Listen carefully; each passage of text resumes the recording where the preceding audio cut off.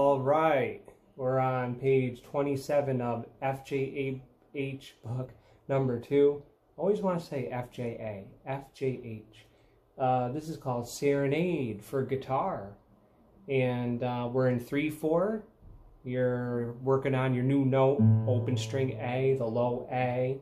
And uh, here's your melody. One, two, three, one, two, three, one, two, let's try that again. My bad. Mm. One, two, one, two, three. Mm. One, two, three, one, two, three, one, two, three, one, two, one, two, three, one, two, three, one, two,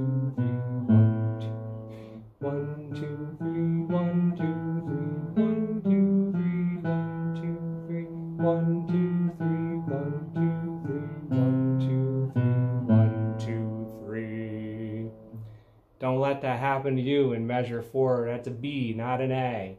I wasn't paying attention. All right. Um, so let's see. I guess it's supposed to sound like a guitarron, uh, which is a large bass guitar used in Mexican folk music. Pretty cool. Okay. Uh, go practice your melody for your notes for this song, and then come back. You can play a, a uh, duet with me. Here's the duet music. One, two, three.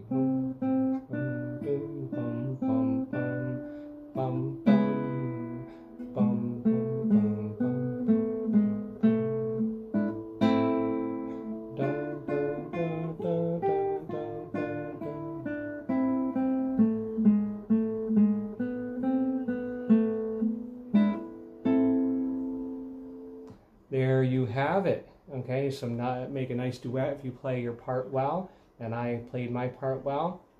So look at that. Now you know notes on the fifth string A, B, C, and the fourth string D, E, F. Yeah, forms part of a minor scale.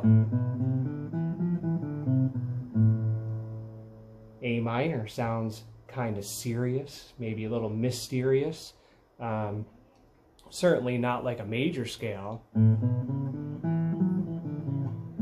Very uh, um, easygoing and kind of happy. Do, re, mi, fa, sol, instead of la, ti, do, re, mi, la, mi, fa, do, ti, la. All right, so, anyways, en- enough of that. Now, um, go practice hard, have fun, and uh, we will see you next time. Thanks for watching.